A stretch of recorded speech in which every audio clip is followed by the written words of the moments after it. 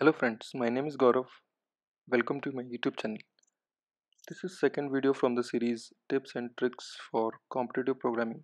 If you haven't checked first video from this series, I will recommend to go through it first as I have covered some prerequisites which will be useful going forward in this series. Alright, so today we will be discussing third problem from Java Introduction Practice set of HackerRank I will also share the problem link into the description. Here's the question statement. This problem will test your concepts of if-else, which are also known as conditional statements. I will be sharing a link into the description from which you can get more clear understanding of this concept. Here is also given a nice diagram to explain the logical flow where you see if condition A is true, then it will run the logic B, else it will run the logic inside C.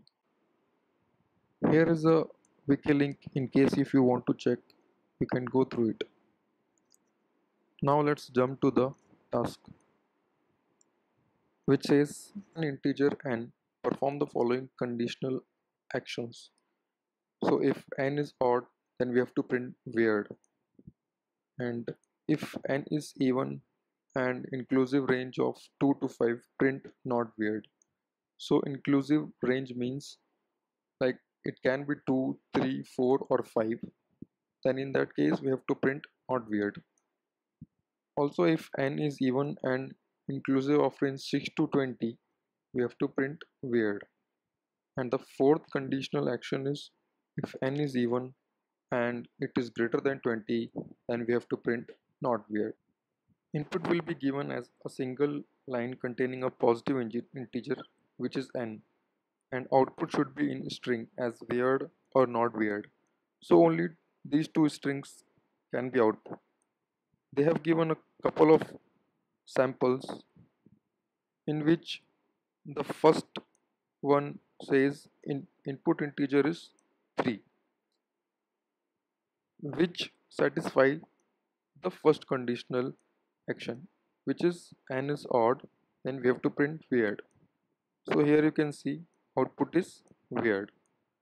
The other sample uh, test case is 24 so if n is 24 we will come here and see okay n is even and it is greater than 20 so our output should be not weird. All right let's jump to the solution for this question. We can see main method is already there so we don't have to write it up again. And uh, here we are accepting input n using a scanner. The scanner concept I have already covered into my last video. So we have to start putting our solution after scanner.skip so you can see I have pasted the code to check if n is odd. Then if n is odd we have to print weird. So this n modulus 2 will actually give remainder and divided by 2 so what we are saying here if the remainder is not 0 that means it is not divisible by 2 so it is an odd number. Now let's cover the other three conditions. So if you want to check for other conditions you can write up as else if so if else if else if like that so it, it is also known as if else if ladder if else ladders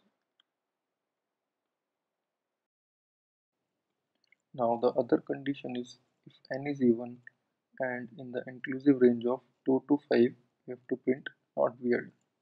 So n should be automatically even because if this condition is false then only it will come to 23rd line.